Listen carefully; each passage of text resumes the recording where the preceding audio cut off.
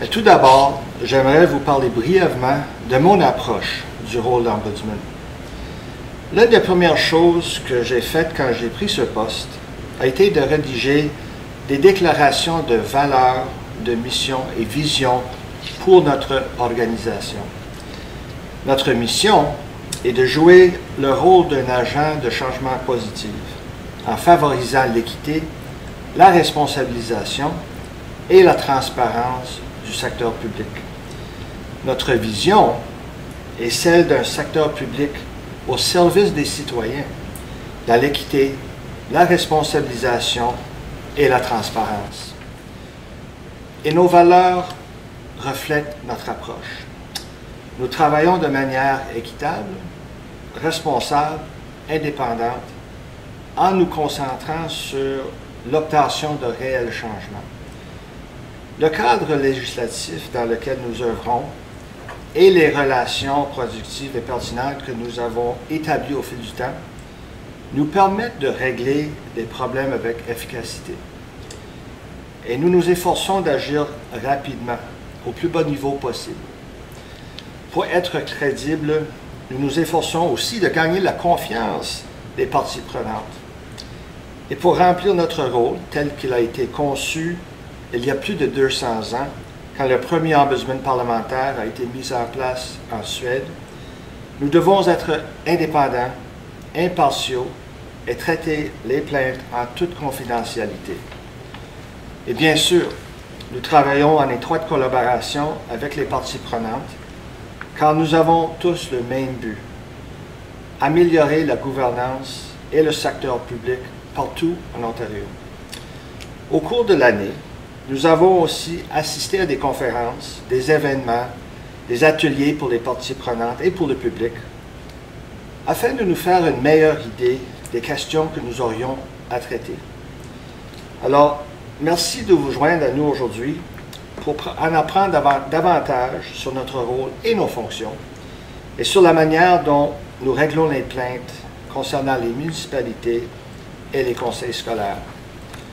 Je sais bien que dans certaines circonstances, les gens n'aiment pas dire au, plaisir de vous revoir. Mais si nous nous revoyons, je crois que l'expérience pourra être positive pour vous. Ou bien vous verrez vos pratiques confirmées par un ombudsman crédible et indépendant.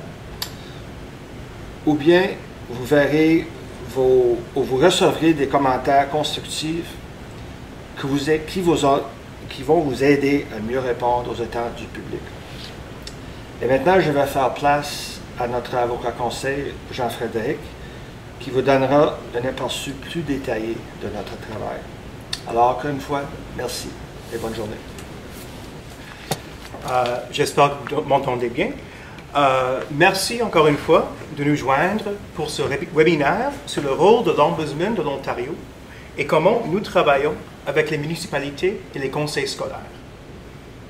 J'espère que vous partirez de cette séance en comprenant mieux le fonctionnement du Bureau de l'Ombudsman de l'Ontario et les conséquences qu'aura pour vous notre nouvelle surveillance sur les municipalités et les conseils scolaires.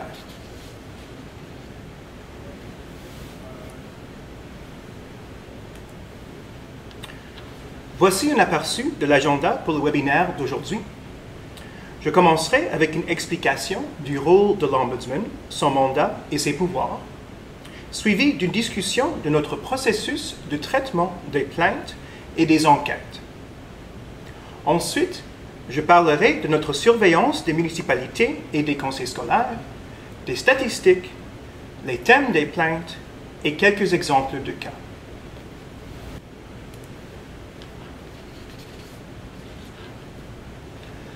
Le bureau de l'Ombudsman a été créé en 1975. L'Ombudsman est un officier indépendant de l'Assemblée législative de l'Ontario, tout comme la vérificatrice générale ou le commissaire à l'information et à la protection de la vie privée de l'Ontario. L'Ombudsman est nommé par un comité multipartite pour une période renouvelable de cinq ans. Chaque province au Canada sauf l'île du Prince-Édouard, a un ombudsman provincial. L'ombudsman actuel est Paul Dubé, vous venez de lui entendre. Son mandat a pris effet le 1er avril 2016. Avant de devenir l'ombudsman de l'Ontario, M. Dubé était le premier ombudsman des contribuables au niveau fédéral. Il a aussi été le vice-président et président délégué de la Commission du travail et de l'emploi du Nouveau-Brunswick et un avocat criminaliste au Nouveau-Brunswick. M. Dubé a une longue tradition d'implication dans les communautés juridiques et d'ombudsman. L'ombudsman surveille plus de 1000 organismes du gouvernement provincial et du secteur parapublic, c'est-à-dire les municipalités, les conseils scolaires et les universités. La liste complète de notre champ de surveillance se trouve sur notre site web.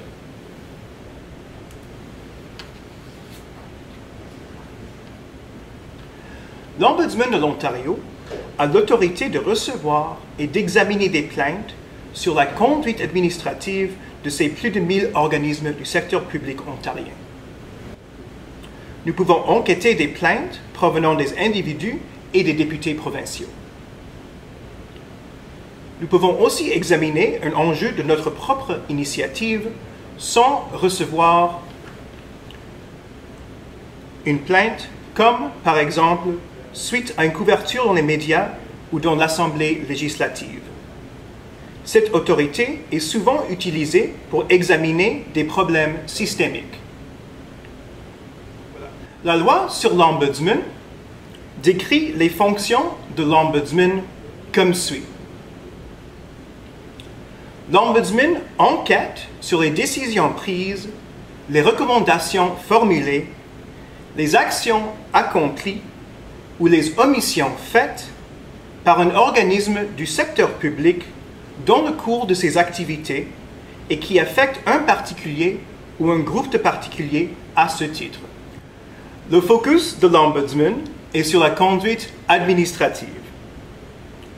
Pour le gouvernement provincial, cela veut dire que l'Ombudsman ne peut pas enquêter l'Assemblée législative ou le cabinet, mais peut enquêter des plaintes portant sur la mise en œuvre de la législation ou du règlement. Dans le secteur parapublic, cela veut dire qu'on enquête sur l'application des règlements, des politiques et des procédures établies par les organismes en question. Depuis le 1er septembre merci, 2015, notre mandat inclut les conseils scolaires et nous surveillons les secteurs municipaux et universitaires depuis le 1er janvier 2016. La loi a aussi créé un nouveau ombudsman, l'ombudsman des patients, qui surveille les hôpitaux publics, les foyers de soins de longue durée et les centres d'accès aux soins communautaires. De plus, la loi a donné à l'intervenant provincial en faveur des enfants et des jeunes la capacité d'enquêter les plaintes concernant les services offerts par les sociétés de l'enfance ou des foyers pour enfants.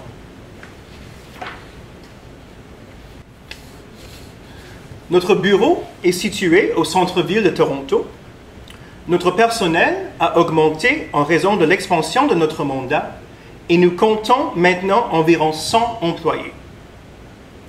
Pendant l'exercice 2015-2016, nous avons reçu 22 118 plaintes au total.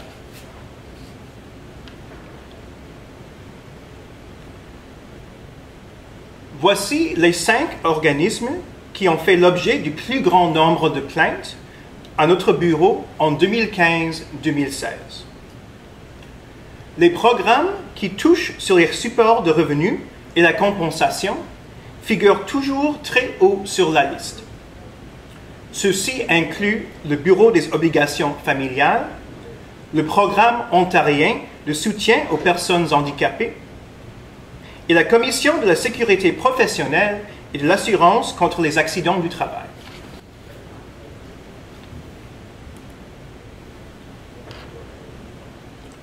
Nous allons discuter comment nous procédons avec les plaintes dans les prochaines diapositives, mais pour l'instant, je vais résumer les pouvoirs que la loi sur l'Ombudsman nous donne pour les enquêtes. La loi nous donne de très forts pouvoirs d'enquête. Le personnel de l'Ombudsman agit sous l'autorité déléguée et peut demander la divulgation d'informations et de documents. Nous pouvons aussi convoquer toute personne qui pourrait avoir des informations pertinentes et les examiner sous serment. Les agents et les membres des organismes du secteur public ont le devoir de coopérer avec notre bureau. La loi sur l'Ombudsman contient plusieurs dispositions concernant la confidentialité. L'Ombudsman et notre personnel prennent un serment du secret nos enquêtes sont menées en privé et nous n'avons pas le droit de divulguer les renseignements ni les documents qu'on reçoit dans l'exercice de nos fonctions, sauf dans les circonstances précisées dans la loi. Toute information fournie à l'Ombudsman est privilégiée. De plus, l'Ombudsman n'est pas assujetti aux lois sur l'accès à l'information. Suite à une enquête formelle, L'Ombudsman peut faire des déterminations concernant la conduite administrative d'un organisme du secteur public.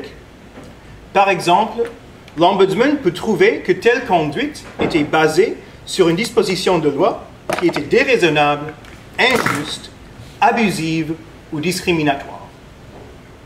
L'Ombudsman a aussi une autorité générale à faire des recommandations, incluant l'autorité de recommander qu'une loi règlement ou politique soit changé. Voici alors comment nous, comment nous travaillons. Nous avons quatre équipes qui traitent les plaintes. L'équipe de règlement préventif, l'équipe d'enquête, l'équipe d'intervention spéciale de l'Ombudsman et l'équipe de services juridiques. Nous trions les plaintes selon l'équipe les plaintes qui sont facilement réglées sont en général traitées par les agents de règlement préventif. Celles qui demandent plus d'enquête sont données à l'équipe d'enquête ou à l'équipe de services juridiques. Les problèmes de nature systémique sont traités par l'équipe d'intervention spéciale de l'Ombudsman et les cas complexes et les plaintes sur les rencontres municipales à huis clos sont traités par l'équipe des services juridiques. L'Ombudsman de l'Ontario est un organisme impartial. Quand nous parlons du concept de la résolution des plaintes, ça veut dire qu'elles sont résolues jusqu'au point où nous sommes satisfaits et non nécessairement que les plaignants sont satisfaits. Nous examinons chaque plainte indépendamment. Nous n'agissons pas à titre d'un défenseur pour les plaignants, ni pour les organismes du secteur public qui font l'objet des plaintes. L'Ombudsman joue seulement le rôle de défenseur une fois qu'une enquête est complétée et les recommandations ont été publiées. L'Ombudsman préconise alors l'adoption de ces recommandations dans l'intérêt public.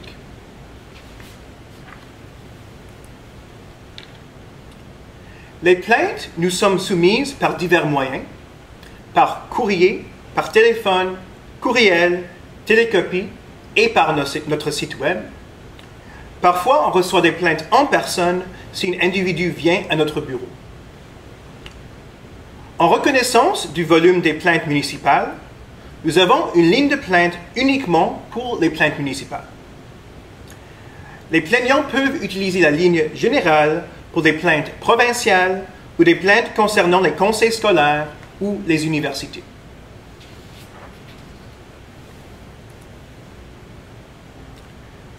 La majorité des plaintes sont traitées de manière informelle par l'équipe des agents de règlement préventif.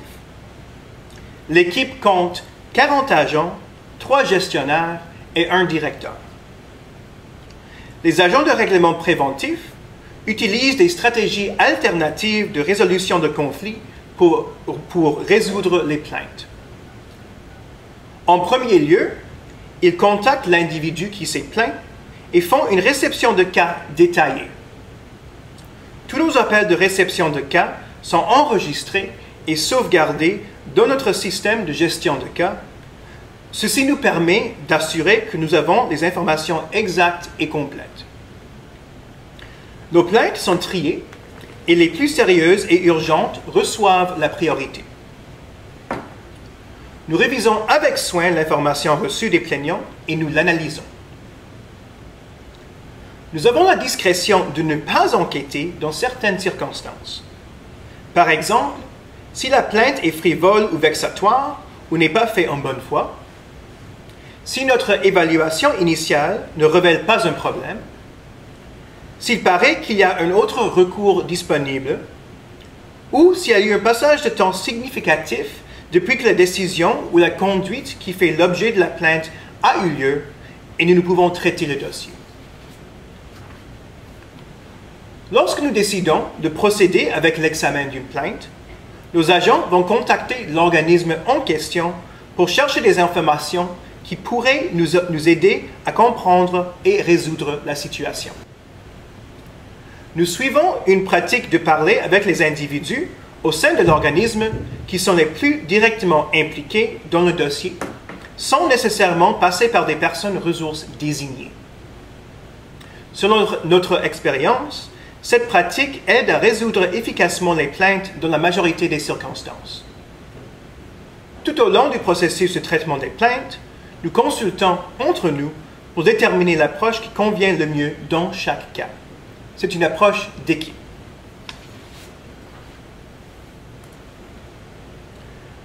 L'Ombudsman de l'Ontario est un bureau de dernier recours.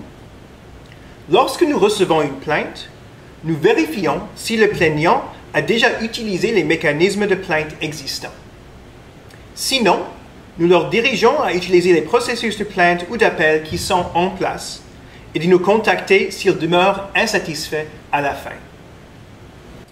Euh, par exemple, dans le secteur municipal, ça veut dire que si une municipalité a mis en place leur propre ombudsman local et celui-ci n'a pas encore traité la plainte, nous référons l'individu à l'ombudsman local pour régler la plainte au niveau local.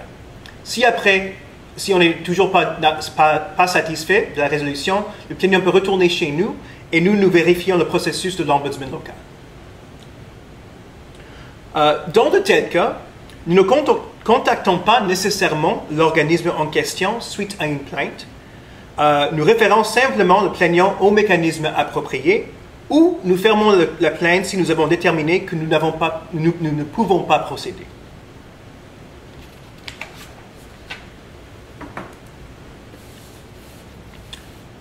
Alors, environ 51% des cas sont fermés dans la première semaine suivant la réception de la plainte et 62% sont fermés après deux semaines.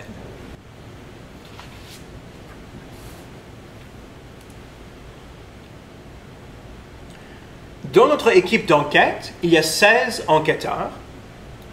Ils travaillent en équipe avec d'autres enquêteurs ou avec les agents de règlement préventif qui ont été impliqués dans le cas auparavant. Les enquêteurs font plus de recherches, obtiennent des documents supplémentaires et pourraient interviewer des témoins par téléphone, par Skype ou en personne. Comme les agents de règlement préventif, les enquêteurs essaient aussi de régler les cas par divers moyens. Et nous avons un record très positif à cet égard. La plupart des cas sont réglés sans, enquête officielle, mais avec un examen rigoureux ciblé. Alors, si vous entendez de quelqu'un qui s'appelle enquêteur, ça ne veut pas nécessairement dire que c'est une enquête officielle, euh, c'est juste leur titre de poste. Euh, même si nous sommes engagés dans un règlement de plainte informel pour un cas individuel, nous cherchons toujours des solutions systémiques aux problèmes. Euh, nous nous concentrons sur les causes profondes et comment améliorer les processus politiques et pratiques allant de l'avant.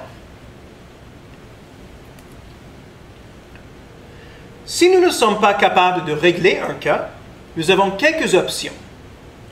Les plaintes peuvent passer à travers les échelons de l'organisme et cela peut comprendre une ou plusieurs réunions avec une ou plusieurs fonctionnaires à plusieurs niveaux. On peut aussi soulever la question lors d'une de nos réunions trimestrielles avec les hauts fonctionnaires du gouvernement. Les réunions trimestrielles sont surtout tenues avec les organismes qui ont le plus haut volume de plaintes, comme le Bureau de la responsabilisation familiale et le ministère de la Sécurité communautaire et services correctionnels. Lors de ces réunions, nous partageons de l'information, discutons des cas individuels afin de les résoudre et identifions des tendances de plainte. Ceci aide les organismes à identifier des points chauds de plainte potentielles avant que les enjeux deviennent systémiques et s'aggravent. Toutefois, si un enjeu demeure non résolu, nous pourrions lancer une enquête officielle. Seulement une petite fraction de nos, de cas individuels arrive au point où ils sont résolus par une enquête officielle. Nous planifions nos enquêtes officielles avec soin. avant qu'elles soient lancées, les enquêteurs préparent un plan détaillé qui élabore la stratégie de l'enquête. Conformément à la loi sur l'Ombudsman, nos enquêtes officielles commencent avec un avis d'intention d'enquêter destiné au chef de l'organisme. Souvent, s'il s'agit d'un ministère provincial, c'est le sous-ministre. Avec les municipalités et les conseils locaux, c'est un membre désigné, désigné d'un conseil ou du comité ou, si personne n'est désigné, l'ensemble du Conseil. La loi envisage que des règlements vont adresser qui est le chef d'une société contrôlée par une municipalité. Pour les conseils scolaires, le chef de l'organisme, c'est la personne désignée par le conseil ou, si personne n'est désigné, le directeur de l'éducation. L'avis qu'on envoie explique brièvement la question qui est le sujet de l'enquête. Nous envoyons aussi typiquement ce que nous appelons une liste de souhaits qui demande les documents pertinents. Les employés et les membres des organismes du secteur public doivent se conformer à nos demandes d'informations et de documents. Si nécessaire, on peut convoquer quiconque pour une entrevue sous serment.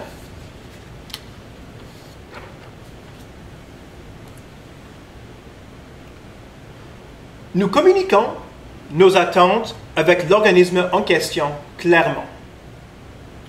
Nous contrôlons l'enquête. C'est le personnel de l'Ombudsman qui décide quelles informations nous avons besoin, quelles entrevues nous avons besoin de mener et avec qui. Les responsables de l'organisme en question doivent s'assurer que leur personnel comprend leurs obligations de nous fournir les informations demandées directement.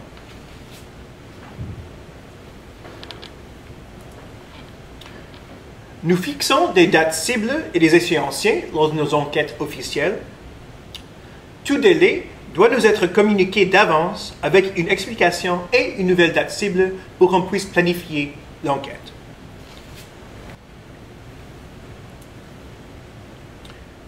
L'équipe d'intervention spéciale de l'Ombudsman est l'équipe qui gère les enquêtes systémiques et de haut profil. L'équipe d'intervention spéciale est dirigée par un directeur avec sept enquêteurs. Les enquêtes de l'équipe d'intervention spéciale regroupent plusieurs membres du personnel de l'Ombudsman, y compris les enquêteurs, les avocats et d'autres personnels de soutien aux besoins. Ils travaillent ensemble très intensivement pour enquêter sur des questions d'importance. Les échéanciers sont serrés le processus d'enquête est formel. Les entrevues sont généralement en personne et ont lieu sur place. Les entrevues sont aussi enregistrées. En choisissant un sujet pour une enquête par l'équipe d'intervention spéciale, nous cherchons des enjeux systémiques sérieux qui ne peuvent pas être réglés simplement en enquêtant des cas individuels. Nous suivons les tendances de plaintes que nous recevons, ainsi que les nouvelles dans les médias et dans l'Assemblée législative.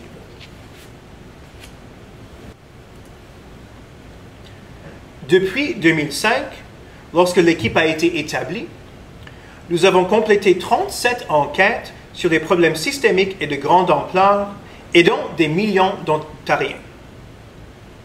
Ces enquêtes ont eu beaucoup de succès et ont, été le catalyseur pour créer du changement significatif dans les politiques et la législation du gouvernement.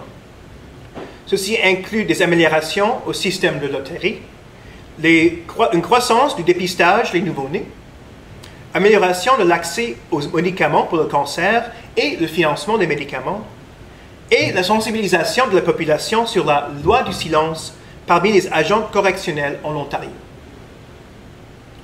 De nos rapports les plus récents, ah, nos rapports les plus récents ont examiné les directives au, au service de police sur la désescalade des situations conflictuelles et les services pour les adultes ayant une déficience intellectuelle qui se trouvent en situation de crise.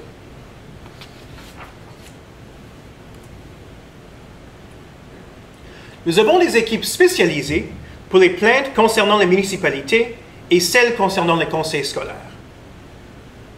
Les équipes sont composées d'agents de règlement préventif, des enquêteurs, du personnel de l'équipe juridique et des gestionnaires.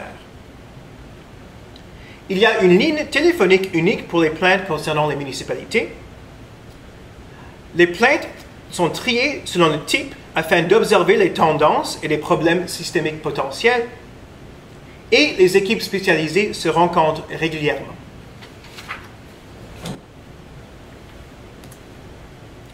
Bon, euh, maintenant, je vais parler de notre surveillance sur les municipalités et de ce qui est particulier à ce dossier. Euh, par la suite, je vais parler de notre surveillance sur les conseils scolaires. Alors, pour les municipalités, l'Ombudsman a, en plus de son pouvoir d'enquêter les, les plaintes générales, l'autorité d'enquêter les plaintes concernant les réunions municipales à huis clos. Notre équipe de réunion ouverte est responsable pour les plaintes portant sur les conseils municipaux, les conseils locaux et leurs comités qui ont eu des réunions à huis clos non conformes aux exigences de la loi sur les municipalités ou leur propre règlement de procédure. L'équipe de réunion ouverte fait partie de l'équipe juridique. Nous avons ce pouvoir depuis 2008. Les municipalités ont l'option de nommer leur propre enquêteur de réunion huis clos, mais sinon, l'Ombudsman est l'enquêteur par défaut.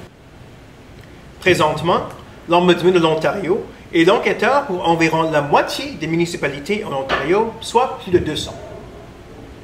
Si nous recevons une plainte à propos d'une réunion qui a eu lieu dans une municipalité qui a leur propre enquêteur pour les réunions huis clos, nous référons la personne à cet enquêteur. Les plaintes sur les réunions à huis clos sont différentes des autres plaintes que nous recevons concernant les, euh, municipalités. Nous devons s'engager dans un processus de collecte d'informations et d'élaboration de rapports beaucoup plus formels que le processus pour le règlement préventif. Les plaintes sur les réunions à huis clos sont très techniques et exige un examen pour vérifier que les dispositions de la loi sur les municipalités et les sections pertinentes des règlements de procédure ont été suivies. Depuis 2008, nous avons reçu plus de 1000 plaintes et questions sur les réunions à huis clos. Nous travaillons aussi sur l'éducation du public et des fonctionnaires sur les exigences pour les réunions ouvertes et nous avons envoyé un guide pour les réunions ouvertes à tous les conseillers municipaux euh, le guide est aussi disponible sur notre site web. Pour ce qui est des plaintes municipaux générales, euh, voici les statistiques. Euh, depuis le 1er janvier 2016, nous avons fermé 3654 plaintes municipales et 272 de ces des plaintes demeurent ouvertes. il y a un total de 3926 plaintes depuis le 1er janvier concernant les municipalités. Euh, voici les sujets des plaintes municipales les plus communs. On y trouve des plaintes sur les conseils et les comités, les programmes municipaux et la qualité du service, la conduite du personnel et la conduite des élus municipaux, y compris les conflits d'intérêts. Euh, je vais maintenant passer à deux exemples de cas des plaintes municipales avant de procéder à la section sur les conseils scolaires. Euh, dans un exemple, un homme s'est plaint parce qu'il a reçu une facture d'eau et une pénalité de paiement en retard, alors qu'il avait en fait un crédit de 600 dollars avec le service des eaux. Notre personnel a contacté la municipalité et a découvert que le compte originel de l'homme avait été fermé et un nouveau compte ouvert sans que le crédit soit transféré. Euh, suite à nos questions, la municipalité a transféré le crédit et a annulé l'argent dû et la pénalité de retard.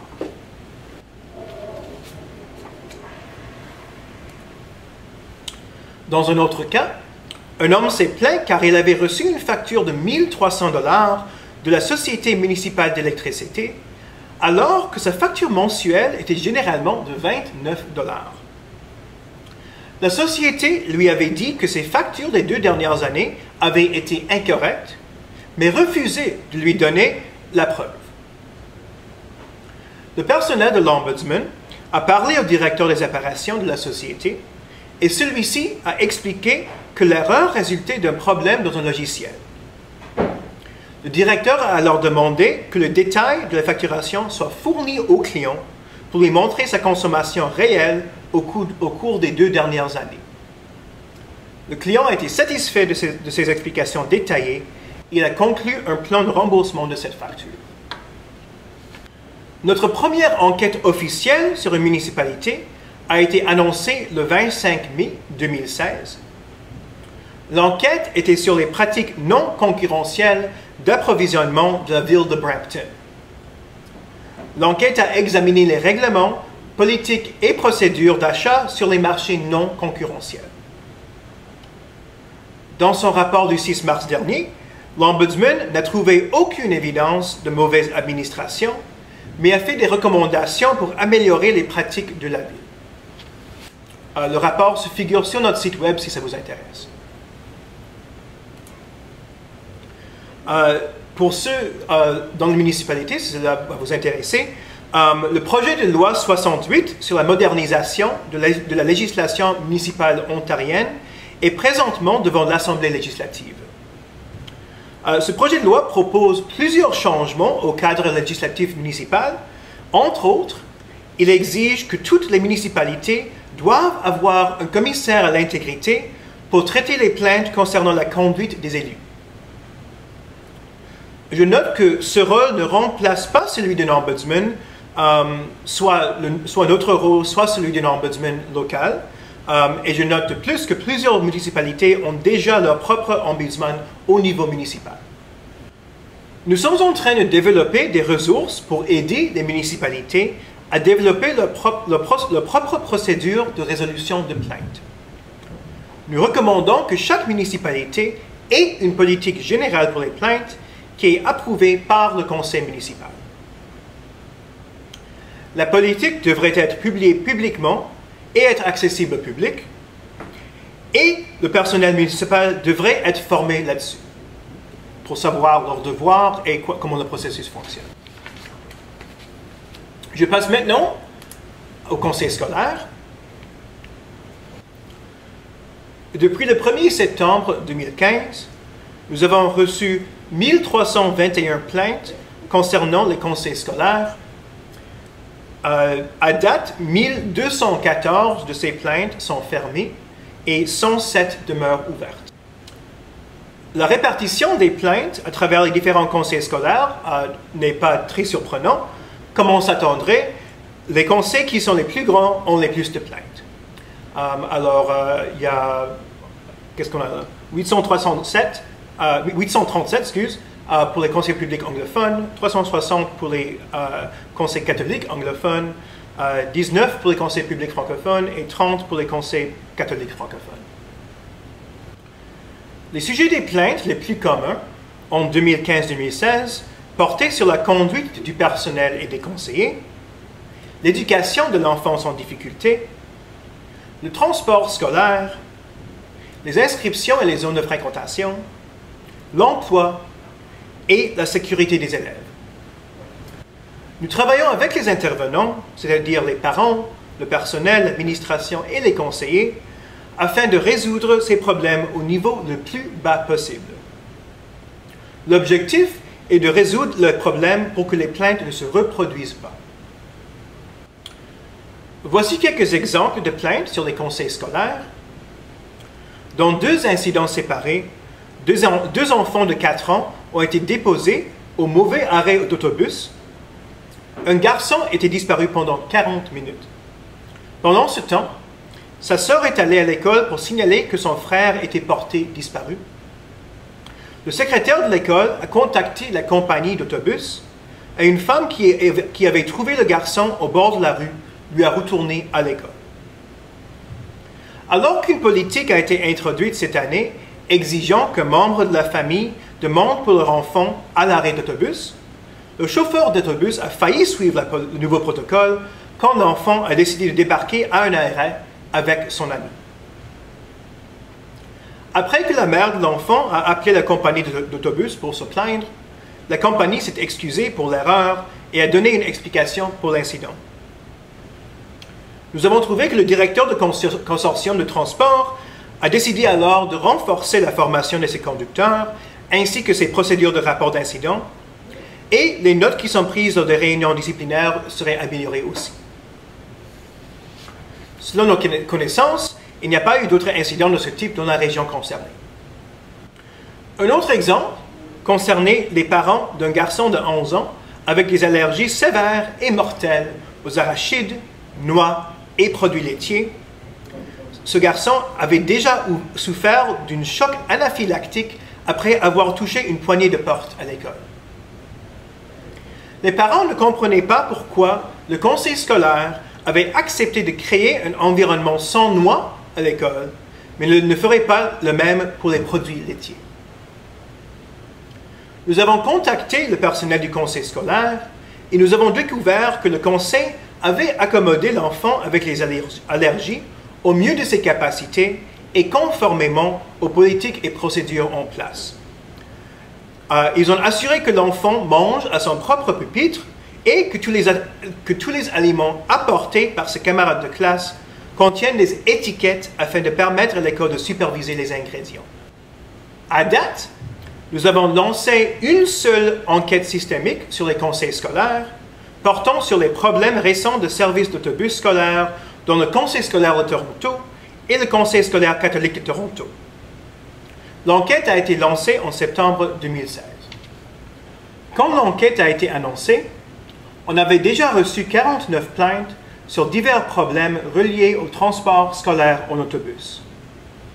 Les conseils scolaires ont reçu un avis d'enquête avant que l'Ombudsman a annoncé publiquement l'enquête. Le problème incluait plus de 60 trajets d'autobus scolaires qui manquaient de conducteurs. Euh, euh, ces conducteurs sont employés à travers un consortium de transport partagé entre les deux conseils scolaires. Parmi les questions que les enquêteurs sont en train de réviser sont si les conseils scolaires étaient adéquatement préparés pour la situation ou s'ils auraient pu se préparer et s'ils avaient adéquatement informé les parents et les autres intervenants affectés. Nous avons maintenant reçu plus de 100 plaintes portant sur cette enquête. Parce que l'enquête est toujours en cours, nous ne pouvons pas donner des, des détails, sauf pour dire que l'équipe d'enquêteurs a révisé des documents pertinents et a fait des entrevues et que le rapport est en train d'être rédigé. Nous continuons à régler les plaintes individuelles sur ce sujet pendant que l'enquête se poursuit. Euh, je conclus euh, avec juste quelques commentaires sur nos statistiques en général. Euh, nous publions les statistiques de plaintes reçues à chaque année financière dans notre rapport annuel. Vous pouvez lire plus sur les plaintes concernant les municipalités et les conseils scolaires, ainsi que des exemples de cas et plus encore, dans le rapport sur notre site web au www.ombudsman.on.ca.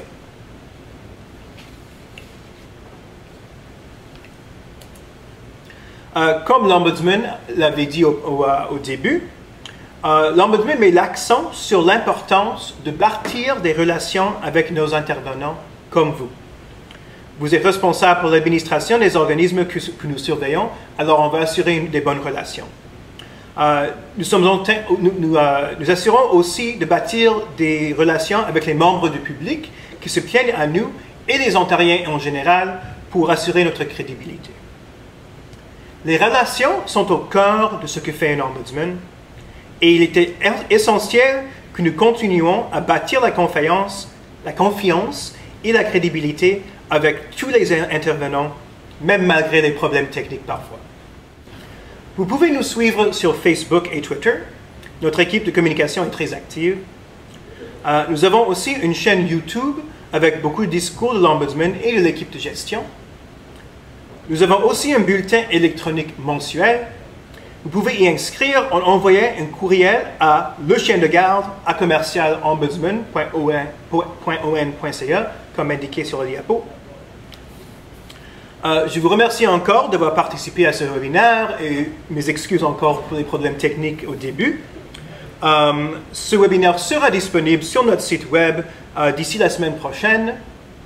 je vais chercher les questions s'il y en a dans deux secondes, mais si vous avez des questions après, n'hésitez pas de nous contacter par courriel à l'adresse indiquée ou de nous contacter au 1 800 263 1830. Euh, Donne-moi deux secondes, je vais voir s'il y a des questions qui nous été envoyées. Il n'y a pas de questions que je vois en ce moment. Euh, alors, je vous laisse dîner.